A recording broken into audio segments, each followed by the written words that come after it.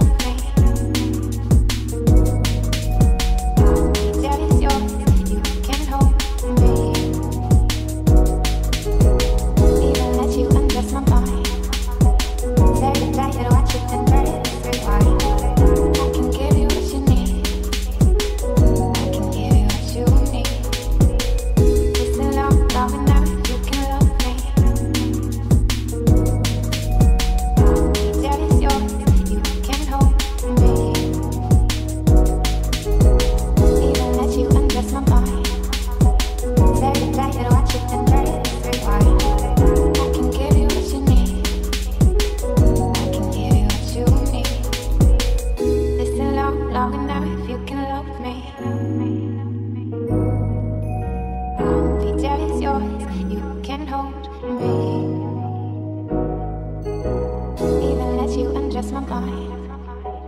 Save the player, watch it, then press rewind. I can give you what you need.